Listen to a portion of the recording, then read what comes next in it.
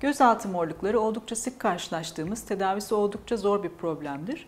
E, kişinin ihtiyacına göre e, tedavi şekli planlanır.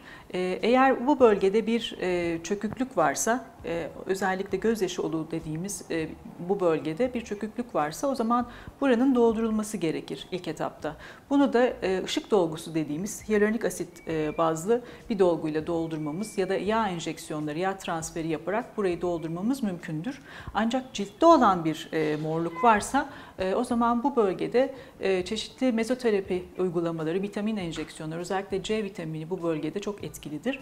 C vitamini uygulamaları ya da PRP dediğimiz platelet rich plazma kelimelerinin kısaltmasından oluşan bir uygulamayı yapmamız mümkündür. Trombositlerden salgılanan büyüme hormonları, büyüme faktörleri bu bölgede bir uyarı oluşturur ve bir iyileşme sağlar. Dolayısıyla buradaki rengin açılması, burada bir iyileşmenin oluşması bütün bu tedavilerin kombinasyonuyla oldukça etkili olmaktadır.